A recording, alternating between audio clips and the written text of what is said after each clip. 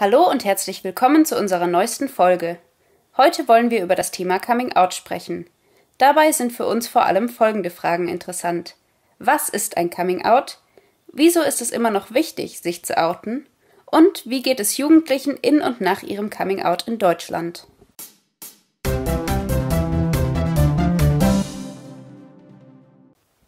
Was ist ein Coming Out? Der Begriff Coming Out kommt aus dem Englischen und ist kurz für Coming Out of the Closet, also aus dem Schrank herauskommen. Es geht also darum, dass eine Person sich nicht länger versteckt. Coming Out bedeutet, dass X Freundinnen, Familie, Arbeitskolleginnen oder vielleicht sogar der Öffentlichkeit erzählt, dass X beispielsweise schwul, non-binary oder aromantisch ist. Davor kommt oft erstmal das innere Coming Out, bei dem ein Mensch nur für sich über die eigene Identität nachdenkt. Ein äußeres Coming-out ist eigentlich nie ein einmaliges Ereignis. Immer wenn eine queere Person neue Menschen kennenlernt, muss das Coming-out theoretisch wiederholt werden. Ein weiterer wichtiger Begriff ist das Outing. Wer eine Person outet, erzählt anderen von X Geschlecht oder sexueller Orientierung. Geschieht dies ohne die Zustimmung von X, ist es keine gute Sache. X könnte beispielsweise deswegen Gewalt erfahren oder war noch gar nicht bereit, es anderen Personen zu sagen. Es gibt übrigens keine richtige Zeit und keinen richtigen Ablauf für ein Coming Out. Manche Menschen wissen schon sehr früh über ihr Geschlecht und ihre sexuelle Orientierung Bescheid, andere erst sehr spät. Für manche Menschen ist es einfach, sich selbst zu akzeptieren, ihr inneres Coming Out dauert nicht lange, für andere ist das ein sehr langer und schmerzhafter Prozess. Manche Menschen haben kein Problem damit, der ganzen Welt von ihrer Identität zu erzählen, andere halten sich lieber zurück. Manche Menschen haben auch mehrere Coming-outs nacheinander, weil sie sich zum Beispiel erst als lesbisch outen und später feststellen, dass sie vielleicht doch bisexuell sind. Falls du dich selber fragst, ob du vielleicht nicht heterosexuell bist oder doch ein anderes Geschlecht hast als das auf deiner Geburtsurkunde, haben wir dir ein paar Adressen für Jugendgruppen und Beratungsstellen in die Infobox gepackt. Faktenzeit. Wie geht es Jugendlichen während und nach ihrem Coming-out in Deutschland? Heteronormativität. Die Tatsache, dass in unserer Gesellschaft Heterosexualität und Zweigeschlechtlichkeit als normal angesehen werden und alles andere als nicht normal, komisch oder krank gilt, führt zur Diskriminierung von queeren Menschen. Schauen wir uns eine von leider nur wenigen Forschungsarbeiten über die sogenannte psychosoziale Lage von queeren Jugendlichen in Deutschland an, eine Studie des Deutschen Jugendinstituts von 2015. Die Studie ergab, die meisten schwulen, lesbischen und bisexuellen Jugendlichen haben ihr inneres Coming-out ungefähr im Alter zwischen 13 und 16 Jahren und ihr äußeres Coming-out circa zwei Jahre später.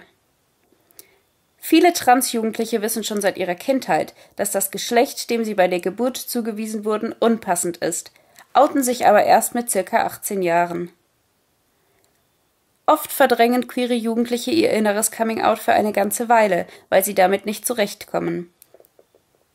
Das kann psychische und körperliche Beschwerden und Krankheiten nach sich ziehen. Das äußere Coming-out ist für die meisten queeren Jugendlichen eine stressige Zeit, weil sie Angst vor Ablehnung durch ihre Familie und Freundinnen haben, Angst vor Diskriminierungen und ihnen wichtige Informationen über Begriffe und Gesetze fehlen. Meistens outen sich queere Jugendliche bei anderen Menschen, weil sie endlich mit jemandem über ihre Gefühle sprechen wollen oder weil sie sich nicht länger verstecken wollten. Die meisten queeren Jugendlichen outen sich bei ihren Freundinnen, was meistens gut klappt. Trotzdem finden auch im Freundeskreis Diskriminierungen statt. Zum Beispiel werden Jugendliche gegen ihren Willen bei anderen geoutet oder ihre Identität wird ignoriert. In der Familie ist ein Coming Out oft am schwierigsten. Die meisten Eltern brauchen nach einem Coming-out ihres Kindes erstmal etwas Zeit, um sich an den Gedanken zu gewöhnen, akzeptieren ihr Kind aber nach einiger Zeit. Aber natürlich kann es auch innerhalb der Familie zu diskriminierenden Situationen kommen. 63,5 Prozent der queeren Jugendlichen sagen, dass ihre Familie sie nicht ernst genommen hat. 8,5 Prozent wurden Strafen angedroht und fast drei Prozent wurden verprügelt. In der Schule outen sich die meisten queeren Jugendlichen nicht, weil sie Angst vor Mobbing, Ausgrenzung und Gewalt haben. Die Studie sagt dazu sehr passend Abgesehen von der Verwendung als Schimpfworte findet das Thema LSBT an Schulen kaum Platz.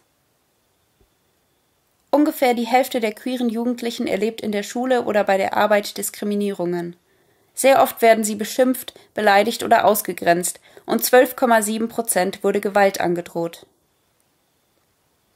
Für queere Jugendliche, die in einer ländlichen Gegend wohnen, ist es oft schwierig, Beratungsangebote oder queere Jugendgruppen zu finden, so dass sie nicht die nötige Unterstützung bekommen. Gerade Transjugendliche werden oft auch in queeren Jugendgruppen diskriminiert.